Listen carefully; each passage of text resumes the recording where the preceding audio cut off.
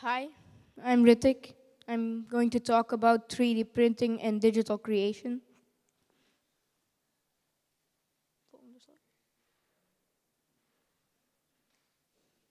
De presentatie, de presentatie gaat over ons, jullie en ik. Eerst zal ik mezelf introduceren, dan zal ik het vertellen over mij en 3D printen. Dan zal ik, eh, ja, dan zal ik vertellen over 3D printen en digitale creatie. En tenslotte zeg ik wat jullie kunnen doen met digitale creatie. We, voordat we beginnen, weet er iemand wat dat 3D printen is? Ja.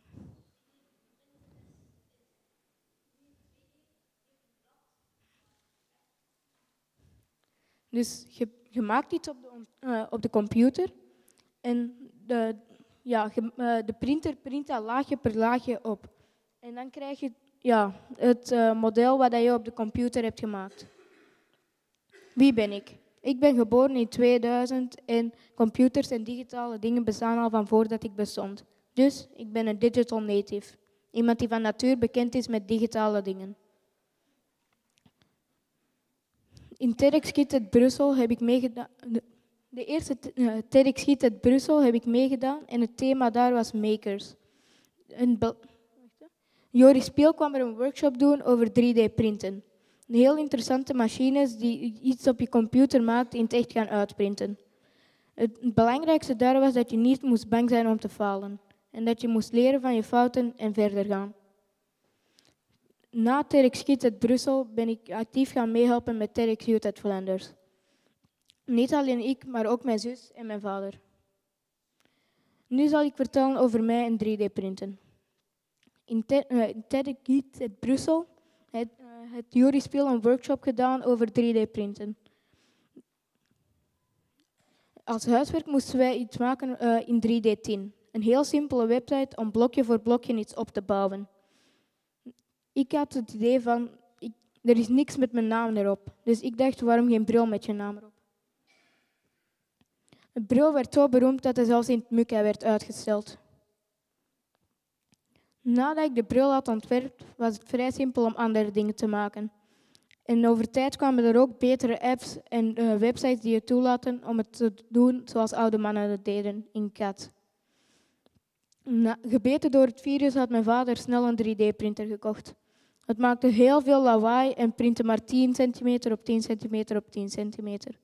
Maar 10 op 10 op 10 is wel genoeg plaats voor veel leuke dingen. Nadat 10 op 10 op 10 niet meer genoeg was, hebben we er een groter gekocht. 25 op 25 op 30 zou wel groot genoeg zijn. En twee printkoppen om complexere dingen te doen. 3D-printen en digital creation. Voor 3D-printen er was, was de wereld heel anders. Als je iets ontwierp op de computer, dan bleef het op de computer. Als je dit naar de reële wereld wou brengen, waren dat machines die heel veel geld kosten. 3D-printen was voor een kleine groep uh, mensen wel gelicht. Met 3D-printen kan je iets ontwerpen op de computer en in eender welke grootte uh, uitprinten.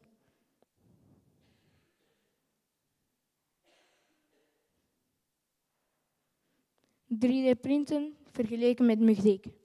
Er zijn drie soorten van mensen in deze wereld. 90% van de mensen zijn consumenten, mensen die naar een liedje luisteren, op YouTube of op iTunes.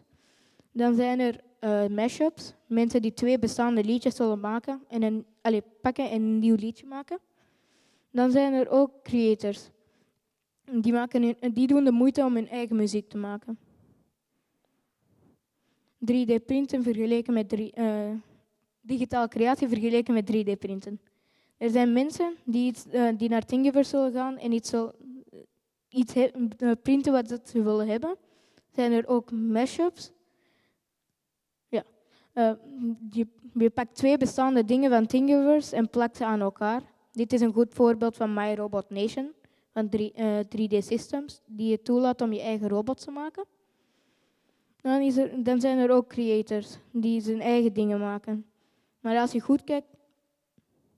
Terug. Verder. Nog. Nog. Nog. Veel meer.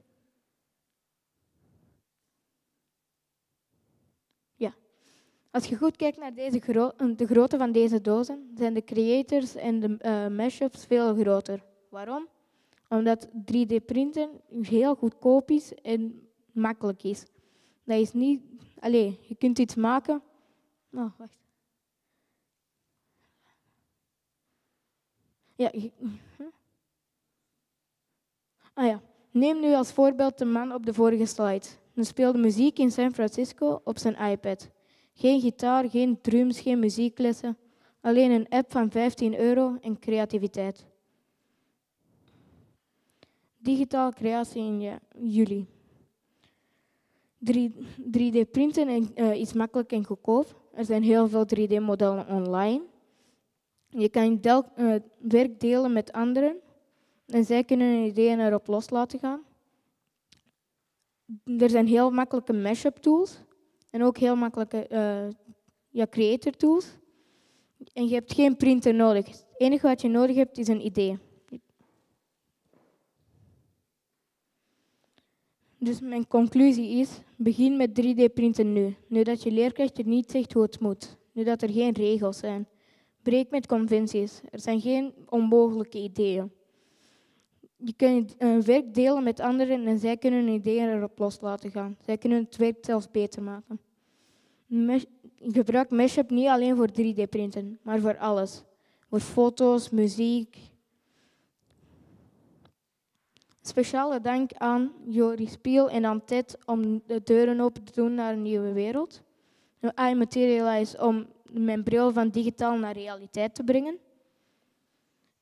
Jason Lopes om te laten zien dat 3D-printen en digitale creatie in de filmindustrie heel vaak gebruikt wordt.